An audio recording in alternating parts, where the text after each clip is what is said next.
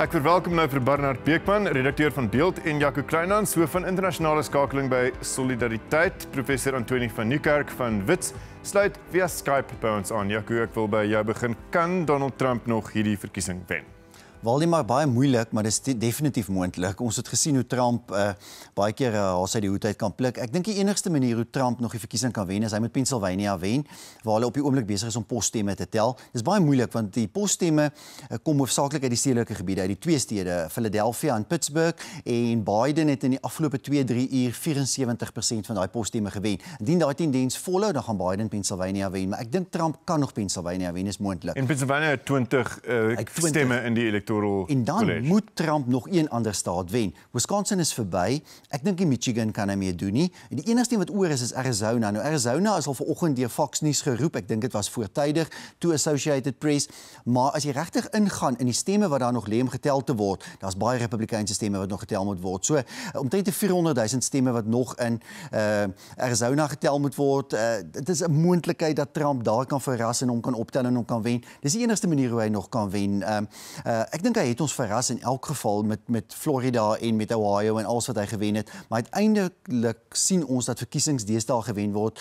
uh, in die ou vervaardigings Rust Belt van Amerika. Jy moet uh, verkieslik 2 van die 3 state wen tussen Pennsylvania, Michigan en Wisconsin. En Trump kry op die oomblik nie dit reg nie. Nou Bernard, die peilings het voor die verkiesing 'n uh, redelike groot oorwinning vir Joe Biden voorspel. Rapport het Sondag berig oor 'n peiling wat gesê het 'n gesaghebende peiling wat gesê het hy kan so ver wen as wat Reagan vir Carter gewen het in die vroeë 80s met 10 punte. Dit het nie gebeur nie. 'n Blou golf het nie gebeur soos wat die peilings voorspel het nie. Aan die ander kant het 'n golf van 'n uh, uh, uh, jy weet 'n groot aggressiewe Trump oorwinning het ook nie gebeur nie en Trump is op koers om hierdie verkiesing te verloor. Wat het jou vandag verras? Kyk net vinnig oor die peilings Waldie, maar mense moet peilings altyd relatief sien. Dit dui op 'n tendens. Ons het nou weer gesien dat die peilings al die al het baie moeite gedoen om so effektief as moontlik te wees, maar hulle raak nie die diep platteland nie. Hulle hulle reflekteer dit nie. Ek dink Trump het dalk daardie peilings geglo want die teen die einde van die veldtog het hy ingeklim en ongekend uitgereik en verkiesings kort ook nog so 'n bietjie oudtydse kultuur van 'n sterk grondaksie, strukture. Uh die demokrate het um net in Florida byvoorbeeld 190 miljoen dollar spandeer maar dis als op die lig ja. maar dis als advertensies dit is sosiale media. Die republikeinse aksie plus Trump se aksie wat toe eintlik twee verskillende organismes is wat saamgekom het het nog mense wat deur tot deur stap en klop. Hulle het nog takke um, en en en dis 'n belangrike rol uh, en dit het 'n verskil gemaak en baie mense het gevoel hy reik uit na hulle en as mense na van daai state kyk dan sien mense die demokrate wen die stedelike gebiede maar dan vat hy 'n klomp uh, plattelandse um, distrikte waar 6000 mense woon 2000 mense 1100 mense die verlore mense die vergete mense deur in die platteland wat voel hulle word afgeskeep en hy het hulle soos in 2016 weer bereik en weer neergesit. So ongeag wie nou na die Withuis toe gaan.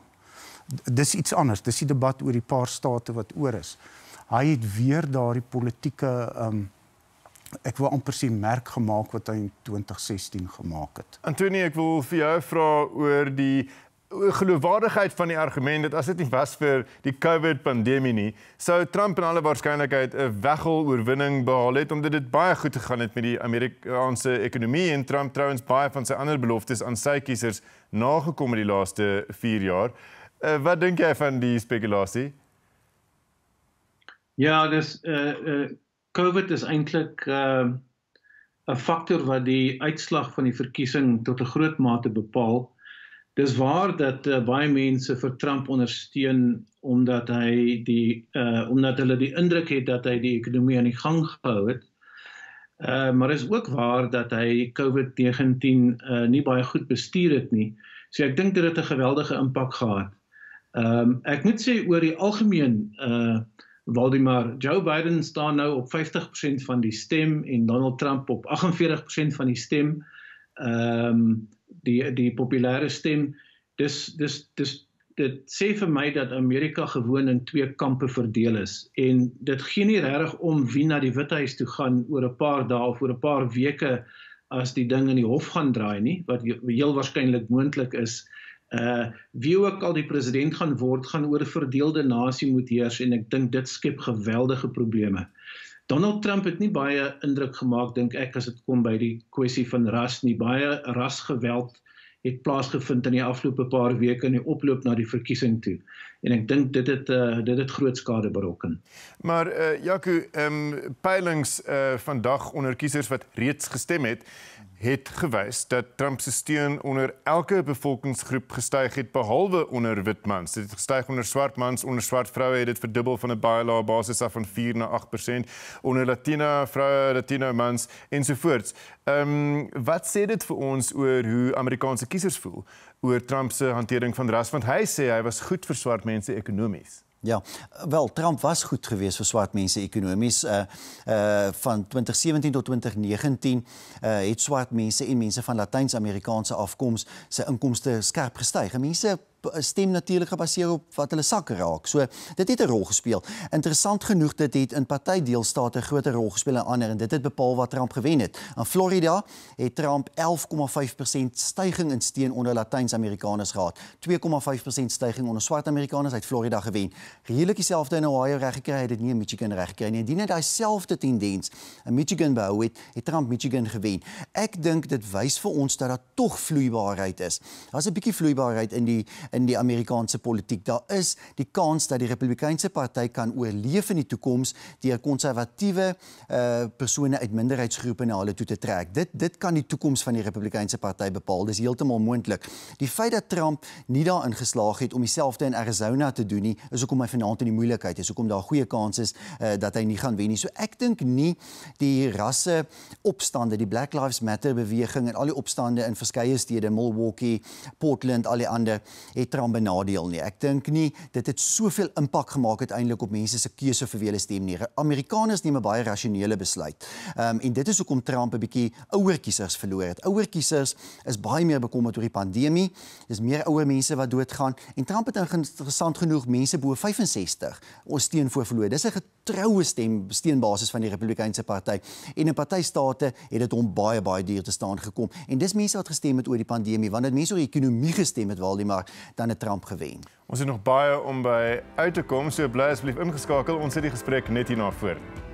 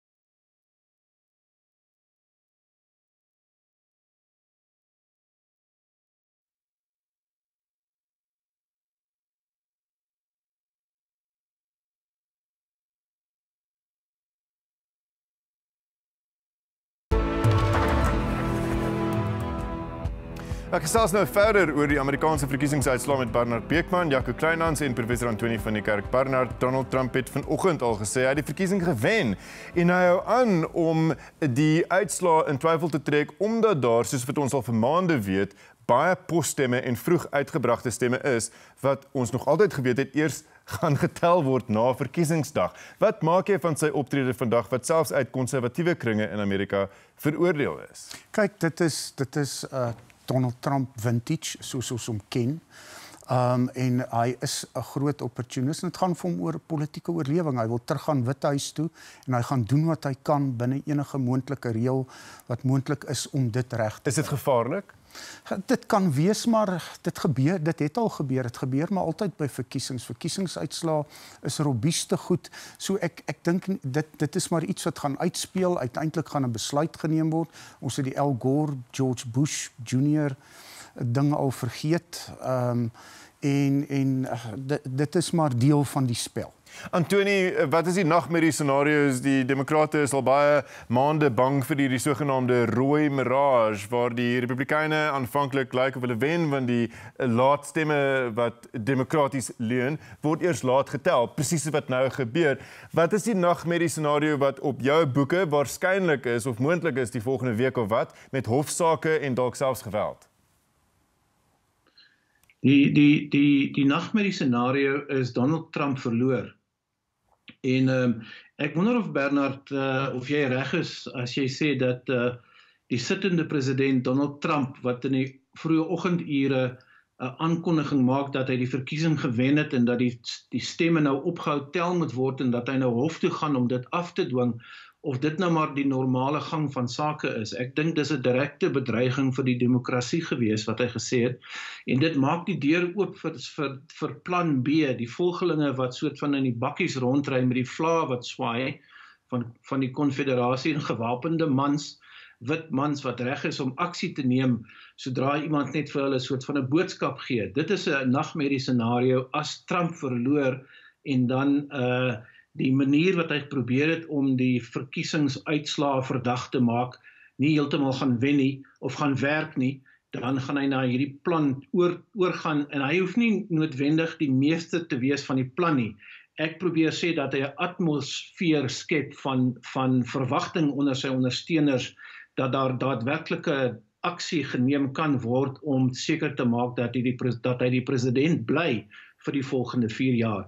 Wat dink jy gaan gebeur as hy eenvoudig weer so toespraak maak in die vroeë oggendure en sê ek aanvaar nie die uitslaa nie. Dan sit ons met 10000 uh prokureurs aan elke kant wat vir weke en weke gaan beklei in die howe om die uitslag soort van jy weet vas te maak na die een of die ander kant toe en dit skep weer eens die klimaat vir vir onbeteelde geweld in die strate. Jou reaksie Bernard yes. want ons het gehoor dat 'n uh, wapenverkope onder links uh linksgesinde en regsgesinde Amerikaanse kiesers ehm um, die die sedert Maart trouens 'n uh, historiese hoogtepunt bereik het. Mense ja, is bekommerd. Ja, ek ek dink dis 'n ekstreme opsie. Ehm um, ek sien dit nie noodwendig in daardie rigting gaan ek sê weer tussen Gore en Bush was ons in al daardie litigasie vir weke gewees. Trump is 'n groot mond wat al baie goed gesê het en kwyt geraak het. Partykeer sê dit sommer vir die effek en uh, as ons nou regtig moet nagaan wat hy al alles gesê het en gedoen het en nie gedoen het nie. Ehm um, as so mens vat dit met 'n knip sout ook maar hy het 'n Republikeinse party om hom. Hy het 'n jong president by hom uiteindelik ehm um, gaan hy ook maar deel van daardie stratifikasie moet wees natuurlik. As is daar altyd 'n element van 'n moontlikheid, maar ek twyfel baie sterk of hy toegelaat gaan word ehm um, met die met met met die Republikeinse party en die veiligheidsmagte in die regering ensovoorts om vir daardie opsie te gaan. Uit hy het interessant sy eerste werklike stap wat nou geneem is deur hom is om te vra vir 'n hertelling in Wisconsin wat heeltemal binne die reëls is en wat hulle geregtig is om te doen. So so ek ja, gevaar seker, maar twyfel. Want hierdie groot pratery Jaco is iets waarvoor die gemiddelde Amerikaanse kiezer nie baie update het nie. Ons het ja. gesien dat meer as 50% van Biden kiesers gesê het dat hulle eintlik gaan stem het om teen Trump te stem, nie om vir Biden te stem nie. Ja. Ehm um, watter boodskap, dis my vraag aan jou, hoor jy die Amerikaanse kiesers hier artikuleer in die laaste week of wat van van van van stemme. Wat wil hulle hê moet Amerika en die wêreld hoor? Want hulle sê aan die een kant ons soek waarskynlik eerder vir Biden as vir Trump, maar in die Senaat Ja. Soek ons waarskynlik liewer die Republikeine. Ja. Wat moet ons lees in die Amerikaanse kiesers se boodskap? Ja. Waldemar, ek dink die Amerikaanse kiesers het in 'n mate gewoond geraak aan Trump se bombastiese soort van totaal oordrewe retoriek. Hulle hou nie daarvan nie. Hulle het in 2016 daarvan gehou, hulle het ook nie nou daarvan gehou nie, maar hulle hou van sy populisme. Ons moet dit nie onderskat nie. Ek dink ten minste die helfte van die Amerikaners hou van sy soort van ekonomiese aanslag, die handelsoorloë, die sterk man om te sê ons gaan ons eie bedrywe beskerm. Amerikaners is baie sterk op hulle eie gefokus voor hulle na buite kyk. Ons onder, ons oorskat hoeveel Amerikaners dink oor wat die res van die wêreld van hulle dink. So ek dink Donald Trump het die Republikeinse party in die Amerikaanse politiek vir altyd verander. Die Republikeinse party gaan nie teruggaan na die country club party van George Bush en en mense voor hom nie. Hy het dit vir altyd verander. Die boodskap van die kiesers en ek dink die demokrasie in Amerika is baie sterk. Ek dink die mense wat sê dis die einde van die demokrasie in sig is verkeerd. Amerikaanse kiesers is nie dom nie. 'n Meerderheid van die Amerikaanse kiesers het verwag dat Biden gaan wen en daar daarom het hulle strategies gestem en is daar verrassings deur dat die, Republikeine die Senaat gaan nou, hulle wen in North Carolina, Georgia, Iowa, Maine. Uh dit gaan beteken dat sou Biden wen, gaan die Republiek die Demokrate die Withuis en die Huis uh besit, maar die die Senaat gaan die Republikeine beheer. Biden gaan nie 'n regter kan benoem en goedgekeur kry sonder 'n onderhandeling met die Republikeine nie. Hy gaan nie 'n begroting goedgekeur kry nie. Hy gaan nie nuwe wette kan invoer nie, nie mediese hervormings kan deurvoer nie. Die Amerikaanse bevolking het het gesê ons is ongemaklik met baie van die klanke oor linkse soort van politieke idees in die demokratiese party. Ons is frustreerd met hierdie soort van bombastiese politiek van Trump. Ons soek iets in die middel tussenin. Ons gaan vir julle bymekaar sit en julle gaan nie 'n keuse hê nie. Julle gaan met mekaar moet praat oor die volgende 2 jaar. Antonie ten slotte, dit klink amper optimisties. Miskien uh, Amerika waarin politici weer leer om brûe te bou na mekaar toe. Ten slotte van jou af. Ja, Waldemar, ek ek stem nie saam met die narratief wat ek hier hoor nie. Dit is uh, jy weet ons ons ons sê in die ateljee asof uh, asof hierdie 'n normale verkiesing is onder normale demokratiese prosesse wat verloop en dis twee normale kandidaate. Jy weet Trump is nie 'n normale kandidaat nie. Trump is nie 'n demokraat nie. Uh die helfte van die kiesers hou van Donald Trump en van sy van sy benadering. Hy is 'n ou wat die status quo uitgedaag het en probeer om verwerp en mense hou daarvan. Die helfte van die kiesers het vir hom gestem. Dit is nie asof uh, ons nou, jy weet, ehm um, uh, as daar nou wenner aangekondig word dat die brûe gaan herbou word en Amerika gaan weer 'n rustige, normale samelewing word nie. Die verdelingslyne loop baie diep en is ver, verder verdiep deur Donald Trump se ekstreme politiek en ons moet dit verstaan. Antonie, baie baie dankie. Inperking